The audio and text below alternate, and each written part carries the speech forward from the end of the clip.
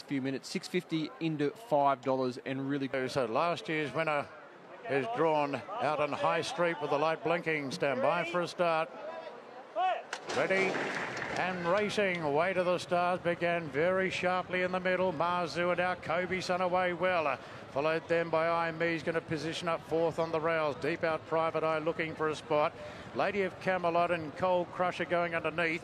They're followed by Dragonstone, Mumbai Muse after cabin, and Steffi Magnetic settles down last. Now, Private Eyes drifting right back through the field as Way to the Stars scampers along as it loves to do. By the by 200 by two lengths there at the 600 from Marzu, and the favourite I Me goes to third.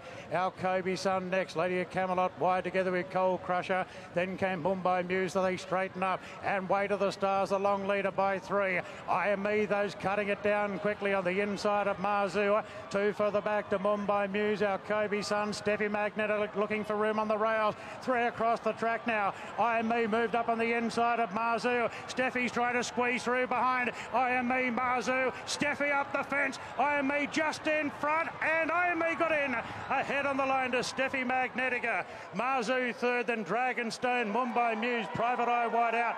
A gap back to Lady of Camelot. Then our Kobe son, Way to the Stars, got tired from Cold Crusher and Aft Cabin. Oh, what a day for the stars of our sport, whether it be Chris Waller, whether it be that man, James McDonald, or Ciaron Maher. They are just totally and utterly dominating everything that's happening today. I Am Me wins the Group 2 shorts, uh, defeats Steffi Magnetica. So many good runs in and around, but oh, Katie, uh, your man, uh, J Mac, gave that one an absolute treat, but she is just so honest.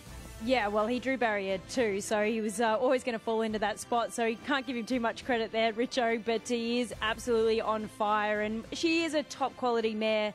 She uh, she she puts herself on speed, but she can ride that hot speed and take a seat if she needs be, and just was really strong late. But how about the run of Steffi Magnetica? Huge and massive improvement in her, Richo. No doubting that. Uh, she was an eye catcher. Lizzie, your top selection was around a 50 to 1 chance there in Dragonstone. And by gee, that just showed how even this race was. At one stage, uh, he loomed into it. Yeah, look, unfortunately for me, he ran fourth. But anyway, I wasn't going to mention it. anyway, it was a very good performance. But I echo exactly what Katie said. Steffi Magnetica is the eye catcher for me. She was back behind a wall of horses. He had to weave her way through, and I Me makes her own luck, and that gives her the best possible chance of winning these types of races. But there she is in the yellow colours. You can see there isn't really anywhere for her to go.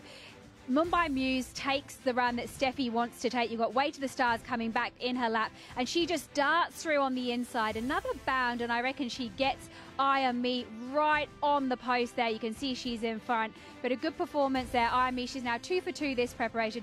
She's got to be getting an Everest slot now after those two eye catching runs.